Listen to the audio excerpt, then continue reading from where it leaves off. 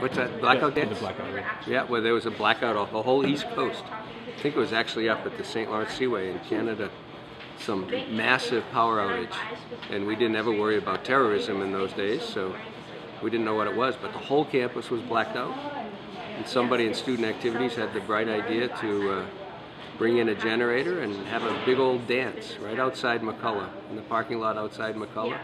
They set up a generator and a college band played. The M. Brown Memorial Swimming Pool Band played, and uh, we had a good old time and had a big, big, big dance. And then for at least a decade after that, every spring, one of the major social events was the blackout dance.